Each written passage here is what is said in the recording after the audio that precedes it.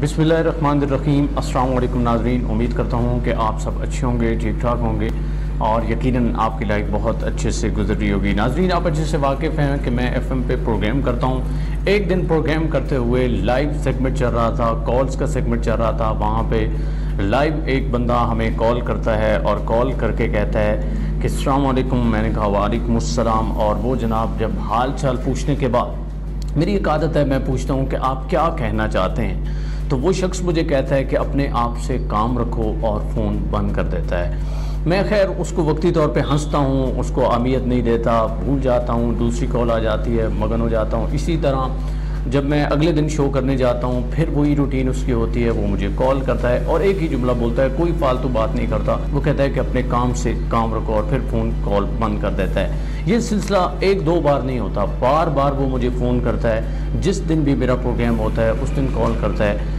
और एक ही जुमला बोलता है कि अपने आप से काम रखो। मैंने इसको एज अ छेड़ कंसिडर किया। मैंने कहा कि ऐसे ही कोई जुमला है, मैंने कभी इस जुमले के ऊपर गौर नहीं किया। लेकिन लास्ट टाइम मुझे इत्तेफाक हुआ, मैंने एक किताब पढ़ी। उस किताब के अंदर एक चैप्टर था। उस चैप्टर का नाम है गो योर ऑन वे जब ये मैंने चैप्टर पढ़ा, ये अंग्रेज़ ने किताब लिखी है और इस बंदे का नाम है नाइजल कैमरलैंड उसकी लिखी हुई किताब है। जब ये जुमला मैंने पढ़ा तो मैं बड़ा हैरान हुआ कि यार देखें, एक बंदा जो किसी देहात से मुझे कॉल कर रहा है और सिर्फ़ एक जुमला मुझे बार बार कह रहा है कि अपने काम से काम रखो, उस जुमले में कितनी डेप्थ है और उसकी फ़िलासफ़ी कितनी बड़ी है। अब ये चैप्टर मैं आपको यहाँ पे एक्सप्लेन करूँगा तो आपको फ़िलासफ़ी समझ आएगी।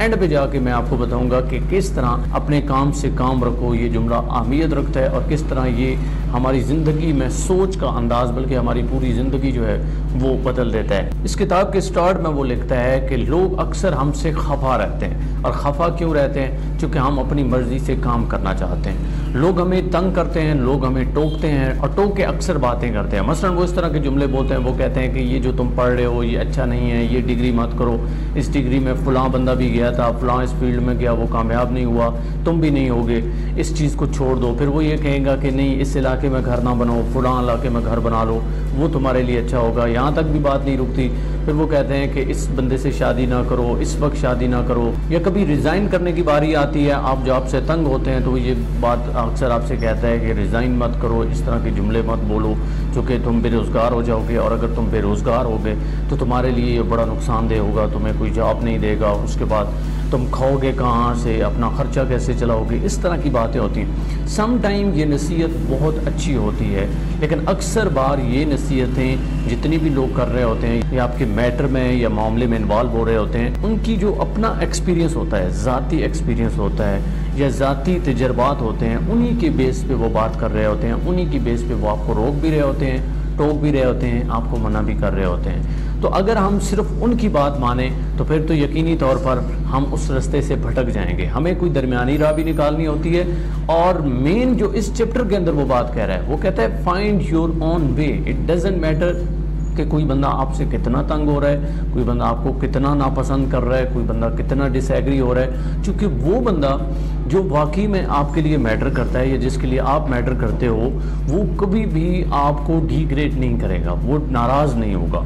वो बल्कि उसी चीज़ को कंटिन्यू रखेगा, उसी रिस्पेक्ट को कंटिन्यू रखेगा। वो इस चीज़ से कत नज़र कि आपने उसकी बात नहीं मानी, आपने उसकी नसीहत नहीं मानी, आप लोगों से हट के चल रहे हो, उसे इस चीज़ से कोई फ़र्क नहीं पड़ेगा। लेकिन वो बंदा जो वाकई में मैटर करता है, वो कभी भी इस तरह की बात नहीं करता। वो आपके साथ चलता है, बल्कि आपको अप्रिशिएट करता है। इसके लिए एक बड़ा ज़बरदस्त कोट है। वो कोट मुझे बहुत पसंद आया है। वो कोट मैंने यहाँ पे रखा हुआ है। वो आपके सामने पढ़ता हूँ। वो कहता है कि be who you are and say what you feel because those who mind don't matter and those who matter don't mind जो मैटर करते हैं, वो माइंड ही नहीं करते, और जो माइंड करते हैं, वो आपके लिए मैटर नहीं करते।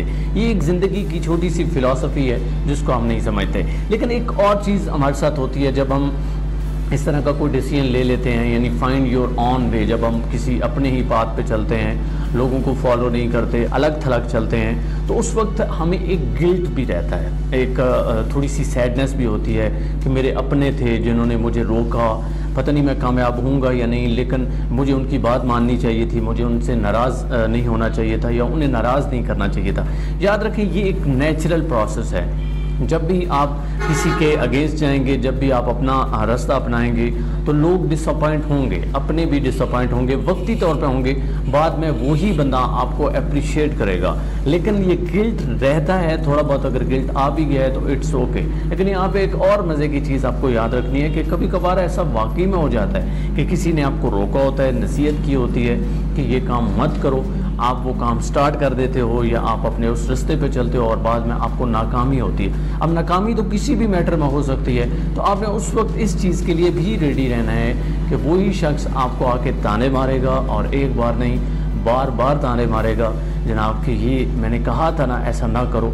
अब तुमने ऐसा किया है तो अब दो लेकिन आपने उसके लिए पहले ही मेंटली तौर पर तैयार रहना है रेडी रहना है। लेकिन ये चीज़ माइंड में रखते हुए कि फ़लाँ बंदा मुझे ये कह रहा है तो मुझे उसकी बात में आनी चाहिए। अगर मैं ये काम करूँगा तो वो नाराज़ हो जाएगा।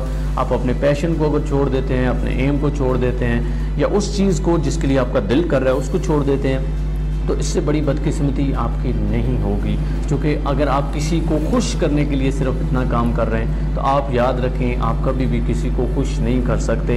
ये ह्यूमन है, इंसान है, कहीं ना कहीं पे फिर भी उन्होंने नाराज़ भी रहना है, आपसे नाखुश भी रहना है। लिहाजा इस फिलासफी को आपने साइड पे कर देना है। अब ये पूरी फिलासफी ये पूरा चैप्टर जो जो उसने इस चैप्टर के अंदर कहा हुआ था, मैंने आपके सामने रखा है और स्टार्ट मैंने लिया था। कि अपने काम से काम रखो। अब आप सोच रहे होंगे कि ये क्या बात कर रहा है। अपने काम से काम रखो। इसके दो पहलू हो सकते हैं। एक पहलू उस वक्त ये था जब वो मुझे फ़ोन करता था, वो मुझे नसीहत शायद कर रहा था या सारी पब्लिक को नसीहत कर रहा था। कि अपने काम से काम रखो, किसी के मामले में टांग मत तरो। ये जो सो कार्ड हम लोगों को कहते हैं, ऐसा नहीं, ऐसा करो। यार, किसी की अपनी ज़िंदगी है, उसको हमें जीने का मौका देना चाहिए।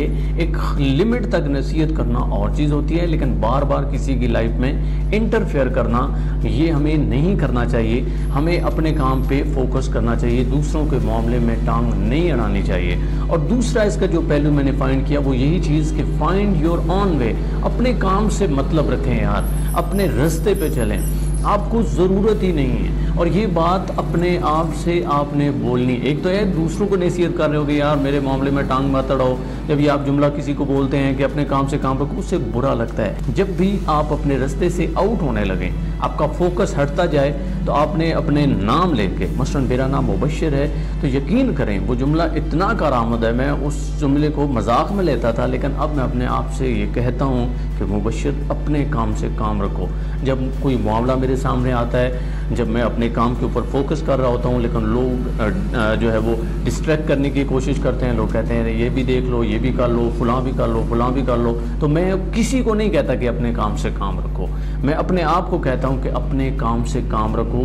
जो तुम काम कर रहे हो, तुम्हें उसी पर फोकस करना है। क्योंकि यही लाइफ की थ्योरी है। और अगर आज ये जुमला आप समझ जाएँ कि अपने काम से काम रखो और किसी को नहीं कहना है, ये पहला पहलू था, ये नेगेटिव पहलू है जब आप किसी को कहते हैं कि अपने काम से काम रखो तो वो नाराज़ हो सकता है। लेकिन यही जुमला, जब आप अपने आप से कहते हैं कि अपने काम से काम रखो तो आपकी ज़िंदगी का थीम जो है वो चेंज हो सकता है। आपकी ज़िंदगी इससे बदल सकती है। अगर नहीं तो कुछ अर्सा आप इसको अपने आप से कह के ट्राई करें और उसके बाद मुझे कमेंट में बताइएगा कि इससे आपकी ज़िंदगी में फ़र्क पड़ा है या नहीं। उम्मीद करता हूँ ये सेशन आपके लिए बेहतरी लेके आएगा। मेरा मकसद यही होता है कि कोई ऐसा टॉपिक लेके आऊँ जिससे आपकी ज़िंदगी में एक पॉजिटिव चेंज आए। मेरे इस चैनल को ज़रूर सब्सक्राइब करें और मेरी इस वीडियो को दूसरों तक शेयर करें। मुझे दीजिए इजाज़त। अल्लाह ने